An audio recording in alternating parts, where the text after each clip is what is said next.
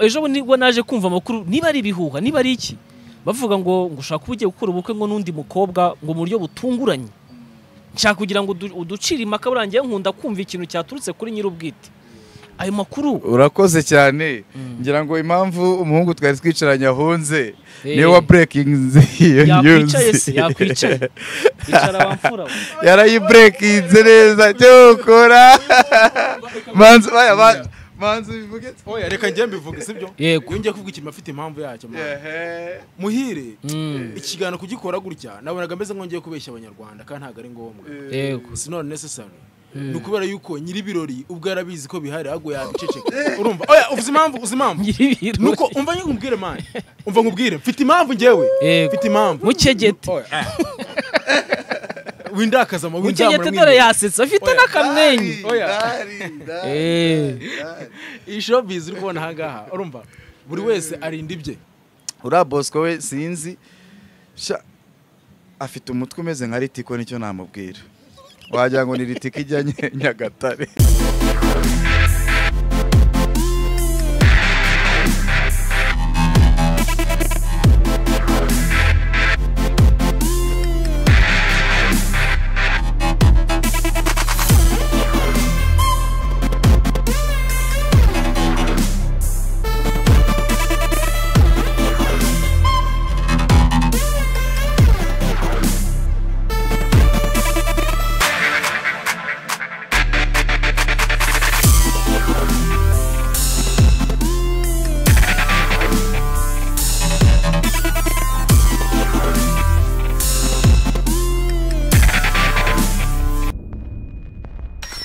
Karangire mbasuze ndetse mbifuriza gukomeza kugubwa neza aho muri mudukurikiranye umunsi ku munsi babwira ngo turakunda kandi dukunda n'ibiganiro cyangwa se komantere mutugezaho eh, mutubwira ko mukunda ibiganiro byacu umunsi ku munsi. Nyine twa muri Jason igihe mukomeje kubana nawe aho uyu munsi eh, turi kumwe n'abatumirwa babiri batandukanye barimo Dr. M ndetse na Kavukire imbere ya kamera zacu. Reka mbasuze Dr. M tumaze igihe tutabona. Dr. M mumeze gute? Imana kabisa yewe amen amen. Uwiteka abakindinze turi abakristu. Ku gasimayiro kawe Wowe rwose uri ntiwabura umukristu ni cyo kintu nakubaza. Cyangwa uri shandirimbo ya ndirimbo iya ndirimbo ngo ndi umukristu ndi uwa yesu. Johnson nari ngukumbuye cyane cyane cyane Cya, kabisa. twari turanye. Pe pe pe. Mm, n'imana irabizi kabisa. Amen abo ubwo uri muzima nanjye nkaba ndi muzima. Ni fresh cyane. Kavukira mumeze neza? Ramba ramba sha shumi narabwenge nzaramba holari gang ramba ramba ramba ramba shumi yanjye ndi kubona umuntu witwa Dr. M nkabona umuntu witwa kavukire. Dr. M nyine nkabona ndi nakavukire nkabona ndi kujya nseka. nyine ntago nanjye ko ndi kavukire ubu turi bakavukire babiri bicaranye. Ariko ntago ngewe kuko Dr. M. Mana ukimbwira sitori atamari nyine tunahise mvuga ni uri umuntu urumva? Mm. ntago uri umutangizi muri showbiz. Uyu munigane mure mugiye ngo ni umutangizi uyu uyu ari ni umutangizi uyu ni nuzi uyu ni uyu ni kamerewo natwe tuzajya tumena amabanga yose mani hari Mm. amabanga dukwiye kuzamena y'uburyo abantu bajyaga ngo ishyamba bajyaga si ubizi se wowe ajya bacaya kunshyira muri kanuni y'urwango kandi sinyagira urwango ngewe ngewe nyine mpubuye ndaguhubura. Eh, ndaguhubura nyine tunaguhubura. Eh. Reka mbanze nangire kuri story cyangwa se mbanze nangirire eh, nyuma gatoya kubera ko mu minsi yashize twaje kugira ibyago. Eh, tubura umuntu wari ukomeye cyane muri industry ya music nyarwanda tubura eh, umuntu twafataga nk'umunyarwenya wadusetsaga umuntu ashobora kuba adukora udutene dutandukanye ndetse yari uwo nakwita ngo ni sheri wa Dr. M ndetse twaje no kumuherekeza. Uyu munsi agira iruhuko ridashira Dr. M. Uyu munsi umeze ute? Ubuzima bwaje gukomeza? Nshaka kugira ngo uduhe amakuru neza y'ukuntu umeze. Sha ni danje ubuzima ni danje nyine. Urumva iyo ubuze umuntu biba ari ibintu bikomeye cyane. Ntabwo aba ari ibintu byoroshye. Yego. Ntabwo aba ari ibintu byoroshye. Eh, ababizi barabizi bagiye babura abantu babo. Mm. Eh, ni ukuvuga ngo n'ubu ngubu kano kanya hari ukuntu ujya mutekereza nkavuga ati iyo aza kuba hari byibura.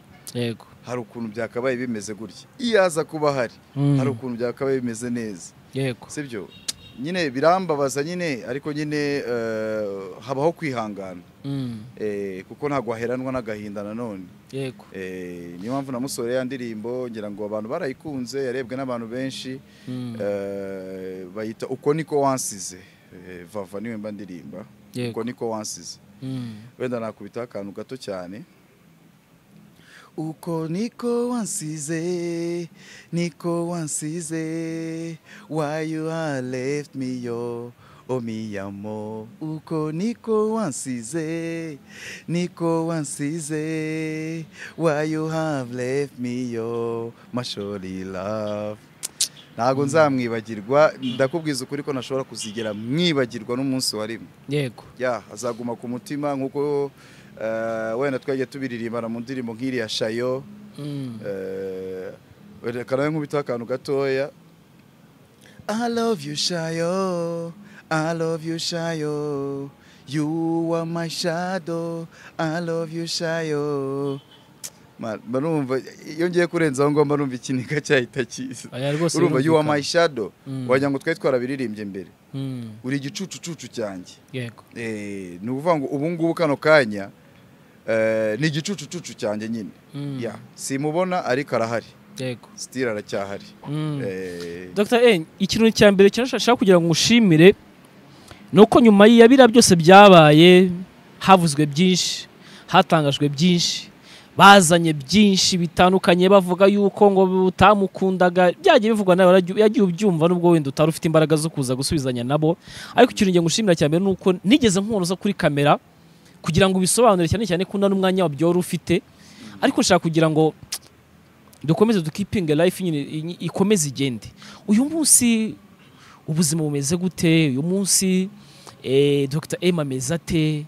Ese uyu munsi wumva ko wakomeye ku buryo kuri rwa rwego mbese wandi uvuga ati wenda nshobora kuba natarakomeye cyane mu buzima wenda ngo mbe meze wenda ijana ku ijana nk'uko wenda nari imeze mu bihe byashize.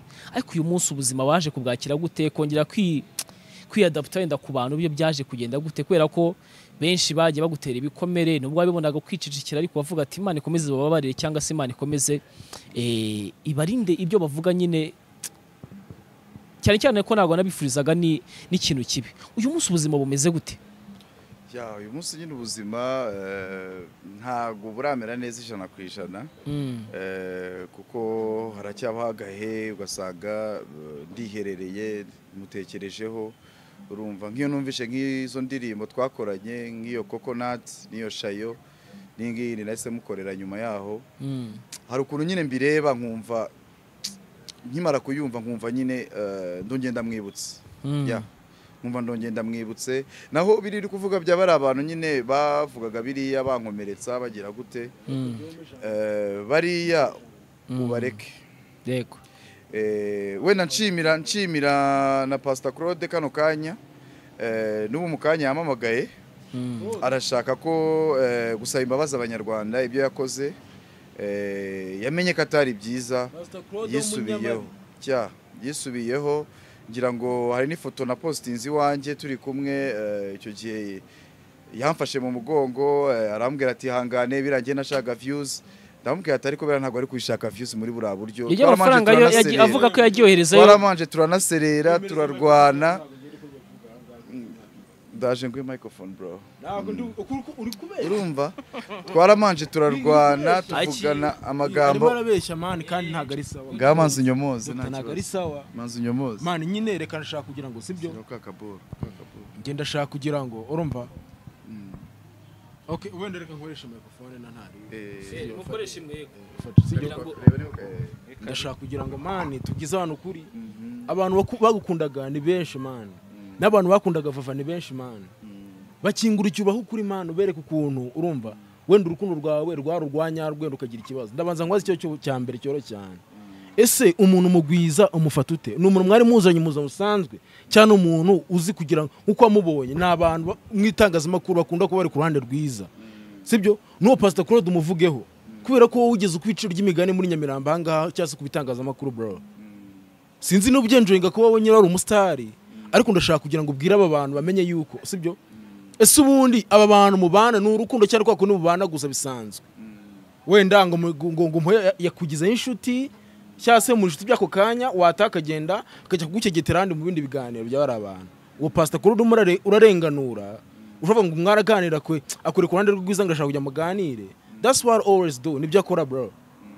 Be positive. Va muri ibyo bintu. Kandi ndabizi neza man. Hari abantu benshi bajya kuvuga nabi kandi bikarangira. Urumva ni byo ndi kukubwira. Njyewe eh, ndi umuntu uri positive. Yego. Ibyarangiye kuri njye biba byarangiye. Ndabizi ko bakoze amakosa kandi akomeye cyane. Nta nubwo ari njye bakwiye gusaba imbabazi gusa bakwiye gusaba imbabazi abanyarwanda bagasaba n'imbabazi ababyeyi Mm. buriya mukobwa nyakwigendera. Eh, ntabwo ari njye bakwiye kuza kuzisaba njyenyine. Bakwiye kuzisaba abantu bose muri rusange. Eh, kuko bakoze amakosa ubundi utanababarira. Ariko njyewe nkanjye njye ndi kuvuga ku giti cyanjye. Sindi kuvuga ababyeyi ba nyakwigendera sindi kuvuga wenda abandi bantu ukuntu babibona. Mm. njyewe ku giti cyanjye ndi umuntu uri positive. Yego. ibyarangiye kuri njyewe biba byarangiye. Eh, kuko sinabisubiza inyuma. Wenda ashobora kuba si no gushobora kuba bo bishakiraga views. Icyo cyo ni cyo kintu namanje kuremarika mbere y'ibindi byose. Nka Mm. Pastor Claude mbere y'uko nyakwigendera yigendera. Mbere y'uko nyakwigendera yigendera.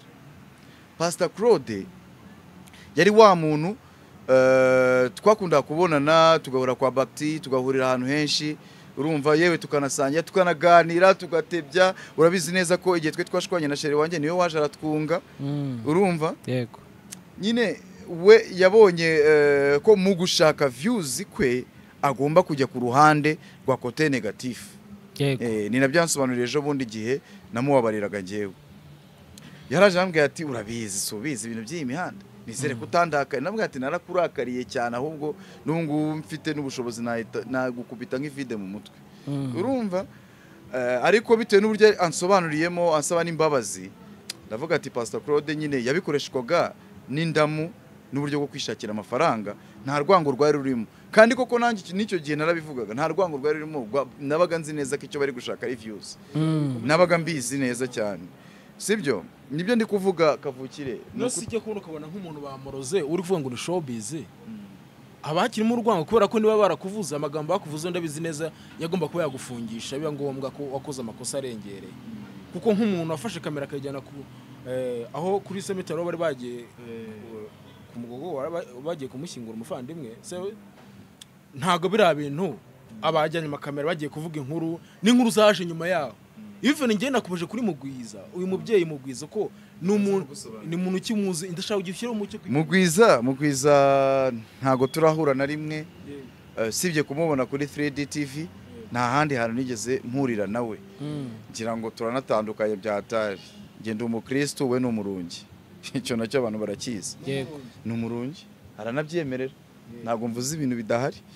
Ngo ndetse sinzi niba n'iyo tike atarayibona yo kujya iyo ngiyo ngo mu buhinde ngo kuzana ngo indi miti ya danje yo kugira ngo ajye avura abantu simbizi. Nta kindi duhuriyeho ntabwo mbese ntaho duhuriye. Ndi umukristo ni umurungi. Ujya ubona ni ubupfumu arenze n'umupfumu. Eh, numva ngo ni abantu basenga inzoka n'ibiki ibintu nk'ibyo ngibyo. Njye niko mbyumva. Gusa waranabyemerera rwose eh, Buriya nyine basenga inzoka. cyane basenga inzoka njye nakuze mbyumva numvaga abantu ngo b'abarungi ah ko yandashe ariko kereka mwoherejeho roketi ya danje iyo ntabwo ari roketi ko ndi kuvuga ibyo yivugiye ngewe we arabyemera ko ari umuntu ngo ni umukuru w'abarangi yego ni umukuru w'abarangi mu rwanda ni we perezidante w'abarangi mu rwanda mbese muri make so urumva rero nk'uwo mama mugwiza ntaho duhuriye. Ngira ngo yaravuze ngo ibyo yari yavuze mbere ngo uriya musore ngo amagambo menshi bla bla bla bla bla. Nyuma araza ngo ururimi ngo rwanyereye. Ngo yewe ururimi rwacu ngo ruzadukoraho. Ngo ye baba we ngo ururimi rwanyereye. Uwitwa bosco we. Bosco we ni pu simanye no kumuvuga mu kanwa kanjye umva. Uriya bosco we sinzi. Afite umutwe umeze nka ritiko ni cyo namubwira. Wagira ngo ni ritiko ijya nyagatare. Ntawe ujya uvuga amagambo uzasubiramo. Nayasubiramo uyu munsi n'ejo bundi n'ejo bundi. Ushobora mwanga kuko koko. Ntago ari ukumwanga Mm. ntago ari ukumwanga ni ibikorwa yakoze bituma mwanga. Sinanga we. Nanga ibikorwa akora. Yego. Eh, ni byo yankozeho. Yego. Urumva dogiteri nifuza kugira ngo urumva usobanure ubuzima bwa showbiz. Ko njye nk'umuntu ibayemo showbiz igihe kirekire nabonye ibintu byinshi mani kandi abantu nkamwe mwari mwari muri showbiz ntabwo mushaka kuvuga uko kuri. Hanze kubera yuko urabona urumva niba wamaze kubona yuko at the same time ibibazo gato bikubayeho umaze iminsi ibiri muri showbiz bakuhatatse bakubita nk'uwica inzoka. Wowe none uri kwibona urumva wowe ubibonye aka kanya uri kubona ari ibintu byoroshye cyari gukerenza ese ibintu by'amarozi ubyumva utuye muri showbiz? Ya ibintu by'amarozi byo byahereye kera ubwo uragira ngo tujye mu bwino n'ubwiyo. Ujye niba mbacaka aho ngaho Eh, ibintu by'amarozi byo byahozeho kera eh, guhera ku bwa bibiri n'icyenda ku bw'aba Riderman ku bw'aba Jay Polly bakiri hit ku bwa bande icyo gihe na Urban Boys icyo gihe baraturirimbiraga bakatubwira ati ng'ishyamba nirigari uzi icyo bakubwiraga yari slang. Riderman akaza akubwira ati ngo tujye ishyamba Eh, abantu ntabwo bigeze basobanukirwa iyo tujya ishyamba iyo ariyo. Tujya ishyamba eh, ni ibyo ngibyo bajyagamo nyine byo kujya gushaka hit n'inzaratsi n'ibindi byinshi. Bagiye kubijya kubishakira nyine aho ngaho mu bapfumu n'abandi. Ibyo ni ibintu byahozeho cyane ni ibintu byahozeho kabisa. Ni ibintu byahozeho. Njye simvuze mvuze ku bwa bwa kuko ubwo hari ukuntu abanyarwanda generasiyo yari arimo y'icyo gihe. Ubwo nawe niba yarimo simbizi. Kuko sinamufashe. Nakaje nkahita mbihamya gutya nkahita mvuga ati Rider yari abirimo. Ariko ntago nabihamya kuko sinigeze mubona ajyayo. Gusa icyo nzi cyo iyo generasiyo yaba BZB urumva iyo generasiyo yaba DJB generasiyo yaba uyu wagiye hanze nuza eh, uyu mm, JP urumva? Eh, generasiyo y'aba JP eh, ba Coga Style iyo generasiyo nyine guhera icyo gihe guhera baskizi guhera muri iyo myaka ya kera. Mm. bo ikintu cyari kigezweho icyo gihe kwari ukujya ishyamba Yego. Eh, kwari ukujya ishyamba n'abariklik ya Yego. Ariko sinaza ngo mvuga ati uyu nguyu yagiyeyo. Gusa hari ibimenyetso bimwe na bimwe mbagiye mfite Mm. ntashobora gushyira hanze kuko si ngombwa ntabwo bikenewe kano kanya. ntabwo ngiye kujya kuvuga n'aba bantu cyangwa se gusebya abantu ngo bagiye mu bapfumu ntabwo ari byiza ntabwo ngiye ibyo nabikora. Ahubwo navuga ati generasiyo yabo bajyagayo bamwe muri bo. Ni ubwo buryo nabivugamo. Mm. Eh, njyewe uzanyemera iki kiganiro tuzagikore noneho tukirambure cyose uko cyakabaye ahubwo ejo ni bwo naje kumva amakuru niba ari ibihuha niba ari iki? Bavuga ngo ngo ushaka kuba ugiye gukora ubukwe ngo n'undi mukobwa ngo mu buryo butunguranye. Nshaka kugira ngo udu- uducire impaka burangiye nkunda kumva ikintu cyaturutse kuri nyir'ubwite. Ayo makuru. Urakoze cyane. Ngira ngo impamvu umuhungu twari twicaranye ahunze ni we wa burekinze iyo se yakwicaye. Icara wamfura we. yarayiburekinze neza cyokora manzu oya, ma- manzu bivuge oya reka njye mbivuge sibyo Yego. iyo ngiye kuvuga ikintu afite impamvu yacyo muhire Mm. ikiganiro kugikora gutya nabonaga ameze nk'ongeye kubeshya abanyarwanda kandi ntabwo ari ngombwa. Yego. Si not necessary. Ni ukubera yuko nyir'ibirori ubwo yarabizi ko bihari ahubwo yabiceceka urumva? Oya uzi impamvu? Uzi impamvu? Nyir'ibirori. Nuko umva nkubwire mani umva nkubwire. Mfite impamvu Yego. mfite impamvu. Mukegete. Oya, ah. windakaza ama mukegete dore yasetse afite n'akamwenyu. Eh. iyi showbiz uri kubona ahangaha urumva? Buri wese arinda ibye. Sibyo? Amakuru banaje nka breakinga ni ukugira ngo abantu bakunda dore imbogo vava ntibambone nkaho ngewe kavukire bari gushaka amakuru muri showbiz nyarwanda ahangaha nta kintu mfite. Kandi kuko nabivuze ibyo bintu muzabibona nibiba. Urumva? Icyo utari kwemera ni iki ngiki rero? Ni uko ba nyir'ubwite nyir'ibyo birori barabizi neza ko ibyo bintu byabakoraho cyangwa zitababera byiza mani ndetse kubera iki? Bari kuturindisha ndetse amakuru kankubaza kubera iki? Urumva? Kubera iki? Yifuje ko tubiganira aka kanya kuri ngo dr. M ngo arakuze. Nyine- wakeneye umugore. Oya oya man ntukavuga gutyo kuki kuki kuki utari kwibaza yuko urumva? Eh. oh, dogiteri ntabwo nkwanga man. Wenda- ntabwo ko ari ibyo bintu ntabwo ari ibintu bibi. Ntabwo ntabwo ari ibintu bibi byatari. Kurongora se ni bibi. Ntabwo ari- nkeneye umugore ni byo Yego, ariko man. njye niyemereye ko nzashaka umugore nyuma y'umwaka. Oya ariko nyine nta ribi nta ribi. Njye nta ribi ko wakora ibirori man Eh, urumva? Full. Eh eh. Nari ndabwira nyine Dr. M. Ni ukuri ko imana abantu bakunda ibikorwa bye cyangwa se bakunda n'imiziki wega n'umuproducer abantu barabizi ahangaha ntabwo njye nakoze biriya bintu kugira ngo warabike bro.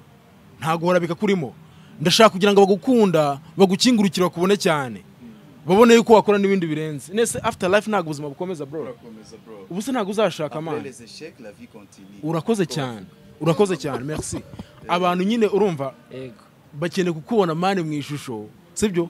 Ya nyayo ukeneye kubona nk'umuntu w'umugabo mani si njye muntu uvuze ko Dr. Ari umuhungu mwiza? Abantu benshi barabivuga muri showbiz n'abakobwa benshi barabivuga Ni ikinyange, ni ikinyange. none se kunkubaza ndatuma mvuga byari turi kwa Slim Jesus ibintu byabaye Eh. ndetse nambaye wari uhari amagambo yakubwiye ntabwo yibuka yakubwiye ngo iki oya nyine ushaka- Dr. Emu ngo aseka neza. ushatse kuvuga mvuga nyine ari gutuma mvuga ibintu ntakwiye kuba ndi kuvuga aha ngaha utanshyira muri zone y'abari abahungu bambaye nk'abakobwa ngiye kirazira. utanshyiramo Yego. byaba ari ikosa. oya oya oya oya oya oya oya geza aho ngaho biriya ni ibyabo ubwiyo. ni wowe utangiye kuzana ibyo kuvuga by'ubukwe bwawe nanze kubivugaho. Sibyo? Uyu muniga urumva afite ubukwe mani kandi ko afite ubukwe ntabwo ashaka ko abantu babwivangamo kubera ko ibyo bamaze kumukora ku mukobwa we bwa mbere. Arabizi. Sam Gakire ntabwo yakwirukanse wowe. Eh, mbivuga ibi bintu ko Sam yakwirukanseho agutanye n'umukobwa mwakundanaga. Bava bagiye kugenda mbega ziriya saga zose zabaga hariya. Si Sam Gakire ahubwo Ba- muramuzi. bashaka bamenye igihe atari cy'ubukwe bongere babwice ndetse ni oya vuga ko ndibyo ndi kubeshya Sam Gakire atakugurukanseho abayutuba bose bakakugurukaho kiri kiragiye eh, nese ufite uburenganzira bwo kubihakana turi kumwe bro. Nta ribi ahubwo Kugira ngo ubwo usigasire njyewe ibiriho. urumva Eh. wumva yuko ngenda nidekaraye nta kibazo mfite kuko n'uyu nguyu uri kubona ahangaha uri kubwira amagambo. Inshuti ze zakoze ubukwe zanga kumutumira bitewe n'amagambo azivuzeho muhire disekera ntabwo azi gutumira wowe. Uzabona- nyine mutuma nkora amakosa nkarekura imiriro ntakwiye kurekura. Eh. kavukire nawe azabukora. Ntabwo azadutumira nawe. Nzabatumira. Nzabatumira. Igihe cyageze. ndetse busigeze. Ava ava ubwo dote ntabwo duhari nzabatumira wallahi. Man uyu muniga Kavukire. muri gushaka ubuzara muri pasite bro. We ariko twamwishimira ndetse ko mumaze igihe tutanabonana? Igihe ati dore rwose kabisa." dore rwo- rwose ku bakunzi bawe n'umukobwa mwakundanaga.